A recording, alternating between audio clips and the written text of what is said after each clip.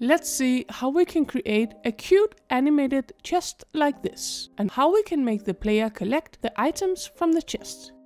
The project files for this video are, as always, available through selected tiers on Patreon. And now, let's get started. This is the demo project I'm going to be using for this video. It has a simple world with a tilemap layer for the background, and a just a simple player that has animated movement. That's it. To create our chest, we first need two sprites. One for when the chest is closed, and one for when it is open. All the art I've made for this video are available on itch.io. Okay, so let's start by making a new scene for our chest. I want the player to be able to collide with the chest, so it can't just move through it. And I also don't think this chest will be moving on its own. So I'm making the root node a static body 2D. The static body 2D needs a collision shape and then our chest also needs a sprite and an animation player so we can create the open animation.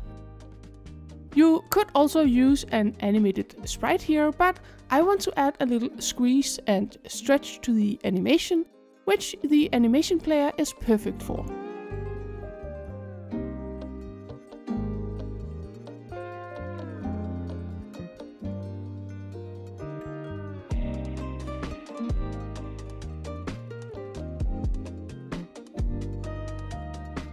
To make the player be able to walk behind the chest, I'm making sure that the collision shape only covers the bottom of the chest. Now we're ready to make our open animation. I'm going to be creating an animation with 10 frames per second. This is the speed I prefer for this animation, but you can always play around with this and see what you prefer. We're going to make this animation using the sprites scale, position and frame. For the first frame in the animation, I'm then inserting a key for these properties. In the next frame, we'll shrink the sprite a bit by setting the scale to 0.9. I also still want it to look like it's staying put, so we need to adjust the position a bit as well.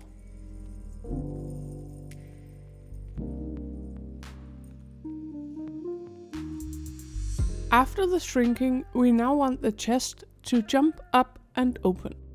So I'm first changing the frame so the chest looks open.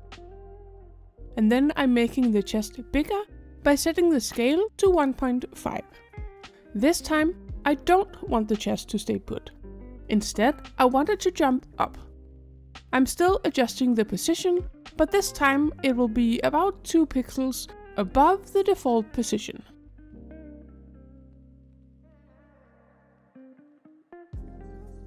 Finally, in the last frame, we keep the chest open, reset the scale and adjust the position so the chest is placed on the ground again. Now we have this cute animation for when the chest opens.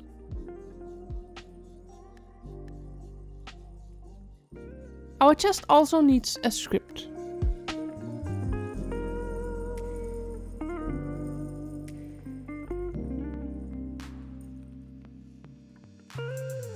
For now, I'm just adding a method for interacting with it. And then I play the open animation here. Will be creating a new interaction component to make the player interact with our new chest. You can also use this approach to interact with other things in your game later. The interaction component can be created in its own new scene, but I'm just creating it directly in the player scene here. We need to be able to detect the chest, so I'm making the component an area 2D. And then I'm adding a circular collision shape to it. The player will then be able to interact with all chests that are touching this circle. We're keeping the detection like this in this video, but you might want to change this later so the player is only able to interact with things in front of them. In my own game, the interaction component has four marker 2Ds that are used to move the collision shape around. But I'm leaving it up to you to implement this, if this is something you want as well. Okay, so next let's make sure that our interaction component only collides with objects that we plan to be interactable. To do this, we can decide that collision layer 2 should only be for interactions. I'm quickly giving the two first layers a name so I can remember what they're for later.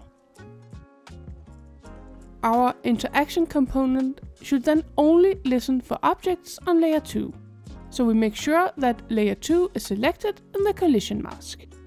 And then we also need to place our chest on both collision layer 1 and 2. 1 is for colliding with the player and 2 is then for the interaction. Next, we can connect the interaction components on body entered and exited signals to its script.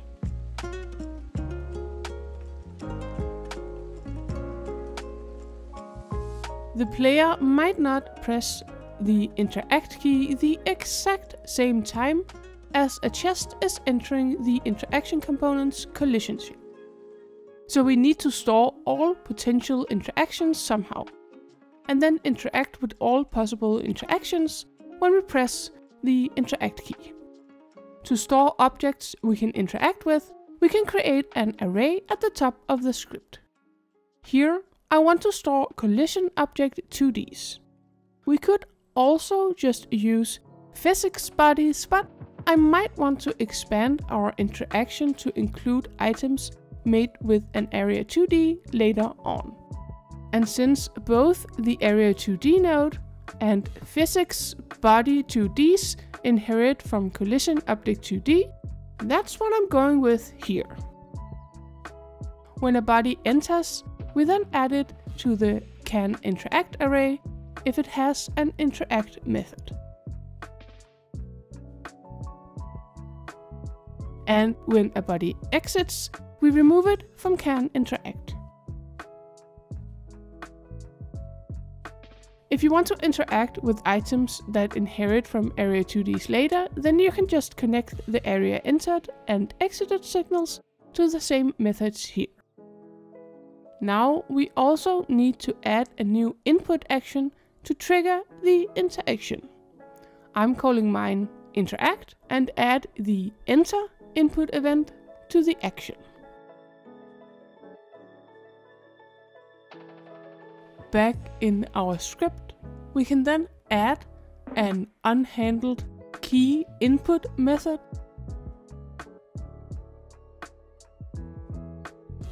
and if the interact action is pressed,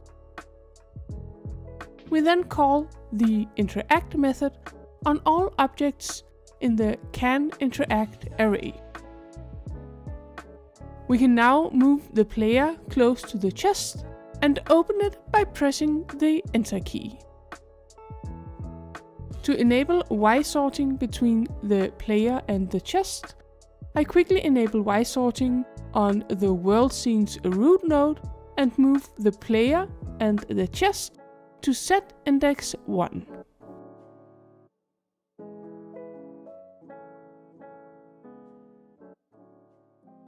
Right now, the player can just open the chest again and again, but we only want to open it once. To do this, we can simply add a boolean variable at the top of the chest script that keeps track of the state of the chest. When we interact with it, we set is open to true, and we also return immediately if is open is true when the interact method is called. Now we should only be able to open the chest once. The next thing we need to look at is how we can add things to the chest. But first, we need a way to define the items that can actually be placed in the chest. If you already have an inventory for your player, then you should already have something like this. For this video, I'm creating a new resource called inventory item, and then this should have an exported texture and a name. You might also have other variables here, depending on how your inventory works.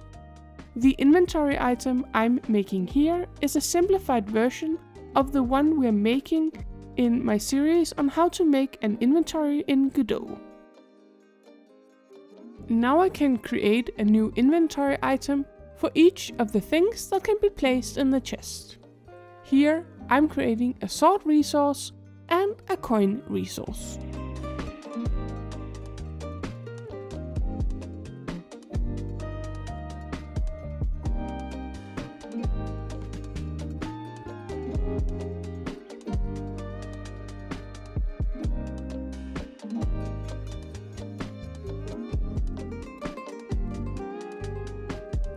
In our chest script, we can then add an exported dictionary where we will add the items for the chest as the keys and then the amount of each item as the value.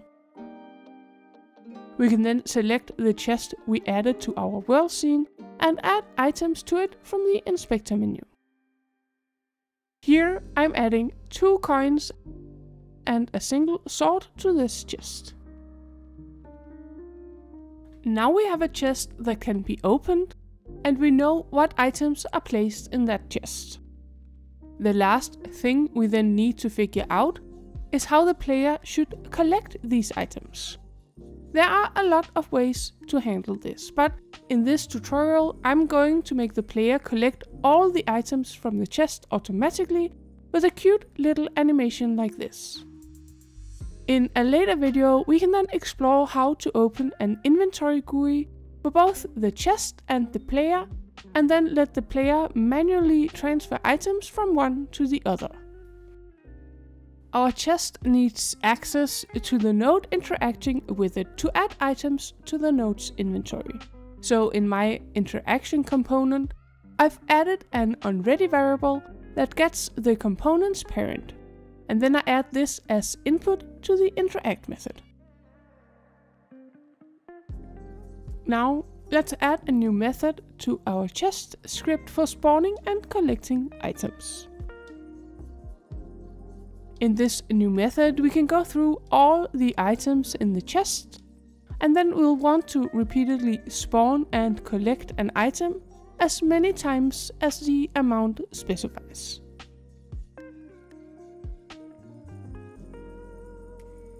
To make the items move up from the chest, I'm first adding two marker 2D nodes to the chest scene. These will specify where the items will start and end.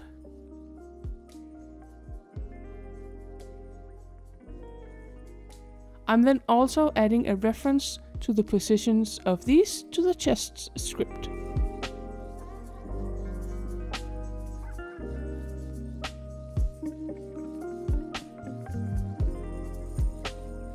We can just use a sprite 2D to visualize the items we are collecting.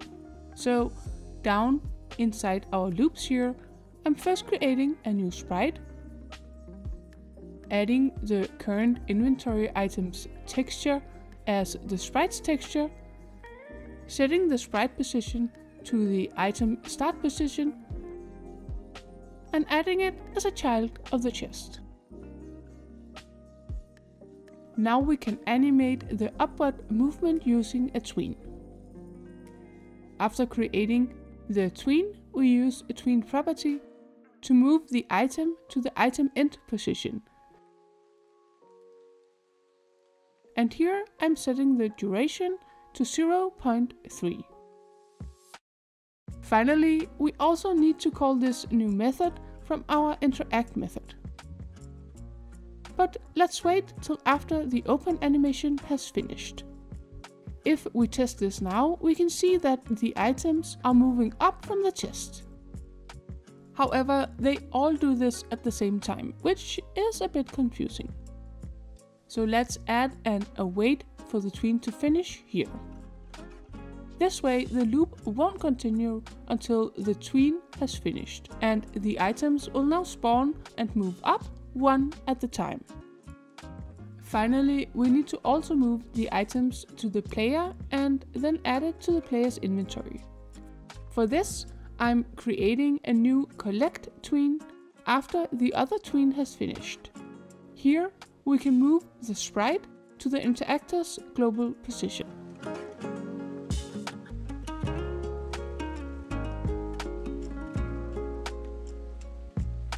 When this tween is finished, we need to free the sprite and add the item to the interactor's inventory. But we don't want to stall the spawning of the next item while we wait for the collect tween. Instead of using a new await here, we can add a callback method to the collect tween.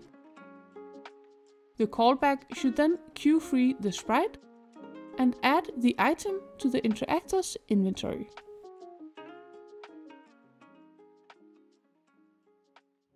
However, what if, for some reason, this chest is interacted with by a node that doesn't have an inventory? Then this would definitely fail. We need to make sure that an inventory actually exists before adding something to it. Actually, I think I want to make sure that an inventory exists before even opening the chest and spawning the items. We can use the get method to see if the interactor has a property called inventory. And then if it doesn't, or if its inventory variable is not of the inventory type, then we immediately return and the chest won't even open. To test that we can now collect the items, I've just added a simple inventory GUI based on the inventory from my inventory series. At first, the inventory is empty. But now the player can then open the chest, the items will move up above the chest and towards the player where they will then be collected. And now the items have been added to the player's inventory. What we've made so far is great, but I just want to fine tune it a bit. First, I want to change the first tween a bit so the item isn't just moving at a linear speed. For this, we can use the set trans method when we create the tween. Here we can then set the transition type. I'm choosing the elastic transition, but I do encourage you to try out a few different ones to see which one you prefer. Secondly, let's set the sprites Z index to one more than the interactor's Z index. This makes sure that it's always displayed on top of the interactor. I hope you liked this video and remember to like, subscribe, hit the bell and all that if you want to see more like this in the future. Bye!